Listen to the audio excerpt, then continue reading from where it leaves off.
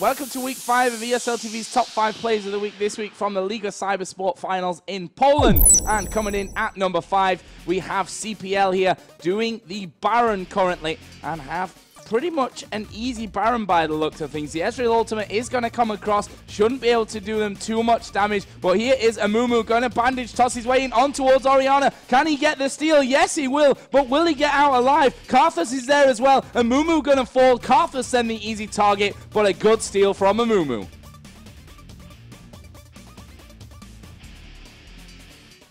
And at clip number four, we have Overpow on Katarina for KMT. He will be going in here. Does get caught from that ultimate out of Spellfang, but he will get that first reset onto Mumu. Switching over to Annie with it. Does pick up the kill. Gets a second reset. Now switching over to Aurelia. Will pick up the triple.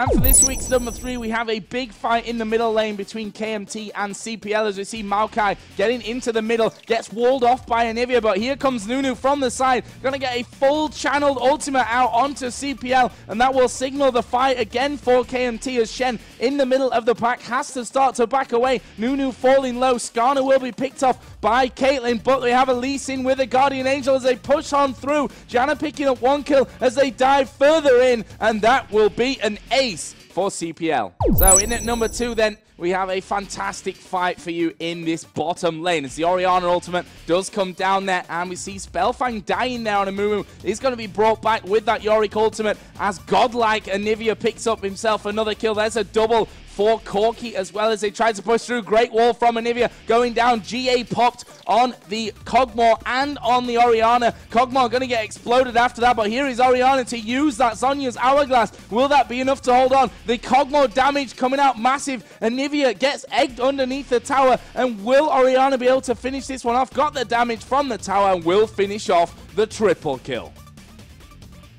And for our final clip of the week, we have CPL versus KMT here. We do see a sneaky Baron going down from KMT. There is no vision currently for CPL right now, as we do have two members of KMT sitting in that middle lane, actually distracting them right now. Shen will turn over that wall and help out with the damage, start taking away from them as Nunu got very low off of it. But we do see Skarner actually engaging, does get a pull onto this Maokai, but he just flashed over that wall. Nivea with the wall actually stops it from pushing in, but Lee Sin coming out just for a random Q, lands it and steals the Baron for them. And that is our number one clip of this week.